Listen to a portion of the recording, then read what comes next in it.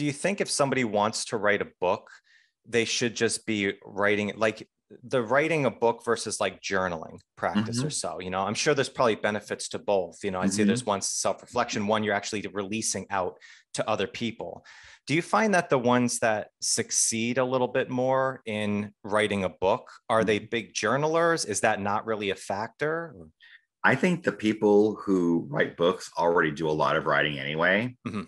And if you are stuck as to what to write, I told this to my my coach once. I said, I, I don't feel creative right now. I don't feel like I have ideas. And he said, You're not reading enough. I said, I'm reading my client's work as I'm writing. It's like that's not the same thing. Those are things that are in your head. Read ideas that come out of other people's heads. Read other people's books. Listen to their audios. But when you get ideas from other people, that will spark something in your own head. So Yeah, if you feel stuck, maybe you're not reading other people's work enough.